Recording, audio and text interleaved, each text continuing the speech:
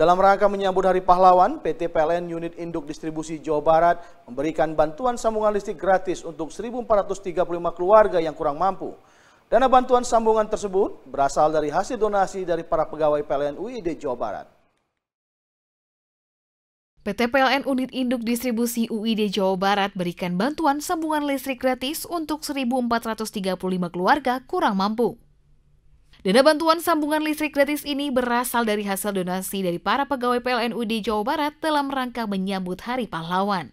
Program sambungan listrik gratis ini dilakukan para pegawai PLN karena terinspirasi perjuangan para pahlawan bangsa dalam membangun negeri ini.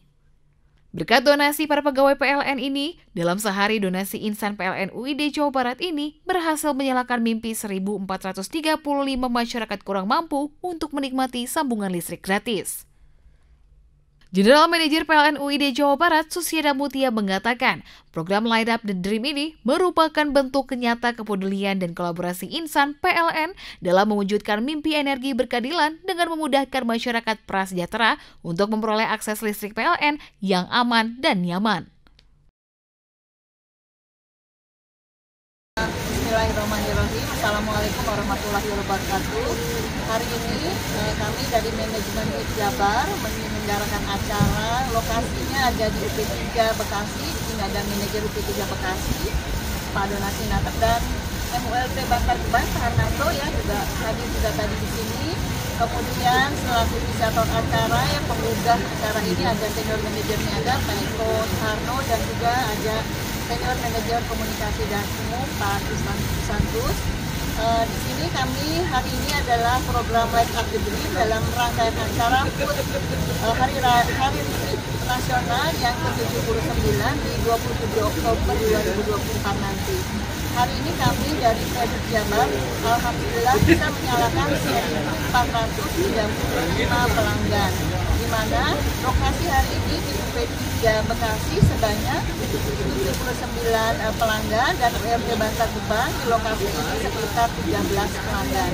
Seluruh kegiatan ini adalah partisipasi dan donasi dari mengisikan sebagian pendapatan pegawai PLN Jabar terdiri dari kantor Jabar, kemudian 17 UP3 berada di kawasan UID Jabar, satu UP2K dan satu UP2D dan 92 unit pelayanan pelanggan tersebar di wilayah UID Jabar.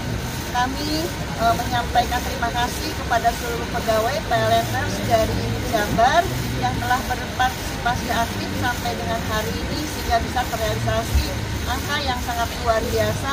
Tentu saja ini adalah e, mengetuk pintu langit agar semua kegiatan dan e, rencana serta hal-hal yang akan dilakukan di Jabar bisa berjalan dengan lancar.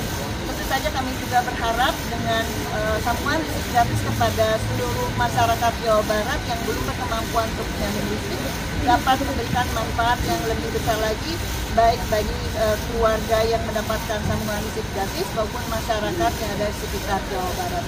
PLN Light, uh, Light Up the Dream hari ini total keseluruhan se-Jawa Barat adalah 1.435 pelanggan. Jadi seluruh Jawa Barat itu kalau lokasinya ada di 17 UP3.